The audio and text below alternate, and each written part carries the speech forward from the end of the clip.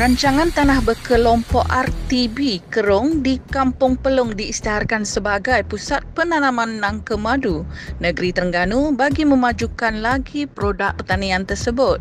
Menteri Besar Datuk Seri Ahmad Razif Abdul Rahman berkata kerajaan negeri mengambil inisiatif mengembangkan produk buah nangka kerana ia berpotensi memberi pulangan besar kepada pengusaha seperti pertanian melon manis Terengganu.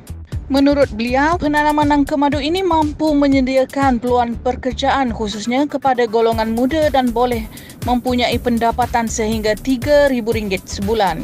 Tambahnya, kerajaan negeri akan mewujudkan pusat kajian dan penyelidikan di sini bagi mempelbagaikan produk berasaskan nangka madu seperti mengeluarkan benih nangka dan dijadikan makanan untuk haiwan ternakan seperti lembu dan kambing. Dalam majlis yang sama, Ahmad Aziz turut mengumumkan kerajaan negeri meluluskan pemberian tanah seluas 250 hektar untuk kawasan penanaman nangka madu baharu di sekitar Don Langkap dengan pemberian lesen menduduki sementara dan jika berjaya, tanah tersebut bakal diberi kepada pengusaha nangka madu.